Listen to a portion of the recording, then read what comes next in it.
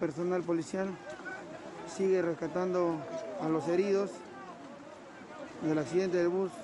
La imprudencia y el exceso de velocidad se cobraron la vida de al menos 33 personas que viajaban en el bus de la empresa interprovincial León Express en la ruta Huánuco-Lima. Perdiendo el control se va de frente ya al abismo, cayendo al río Rima. Eran las 4 de la mañana y el vehículo de transporte de pasajeros se volcó en el kilómetro 72 de la carretera central en Matucana, provincia de Guarochirí, cayendo a un acantilado de casi 200 metros.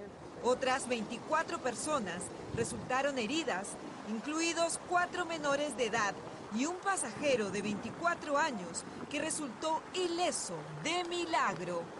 El bus vino así como en zigzag, en zigzag y ya, pero no, el único que fue, lo que hice fue agarrarme del asiento y pedir a Dios que, que, me, que me cuide, que me, que me ayude.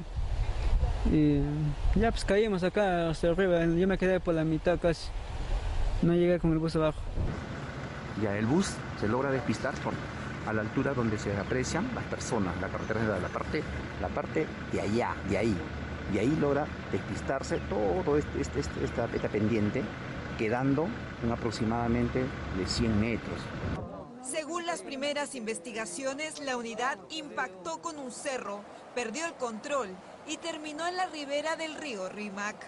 Los pasajeros gritaban que pare, que, que frene, ¿no? que frene, pero no, nunca frenó el carro. Todos, todos gritaban. ¿no? Sí, todos gritaban, más que todas las mujeres gritaban, que, que frene, que frene. Policías, bomberos, rescatistas y miembros del Serenazgo de Guarochirí llegaron al lugar para socorrer a los heridos. Presenciamos pues, que personas estaban este, heridas, eh, pedían auxilio y también había personas pues, este, que ya estaban cadáver. Entonces lo que hemos hecho primero es llevar al, ¿no? evacuar a los, que, a los heridos y los más graves y después ya comenzamos con los que ya estaban un poco estables. El sistema de GPS indicaba en su último reporte que el chofer de la unidad transitaba a exceso de velocidad, superando los 94 kilómetros por hora en un tramo donde el límite establecido es de 35 kilómetros por hora, indicó la Sutran en un comunicado. Uno de los conductores fue identificado como Máximo Baubenahues Trujillo Guamán, de 40 años. Contaba con cuatro infracciones de tránsito por choque múltiple en 2016 y atropello en el 2011, entre otros. A pesar de los antecedentes, continuaba ejerciendo sus labores.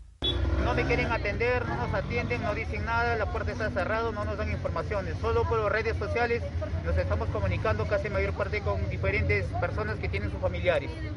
Pero su hermano está en Lima y no llega, dice. ¿Qué es lo que esperas de la empresa? ¿Que informen algo? Quiero que me informen si está ahí, si ha viajado en la empresa o no.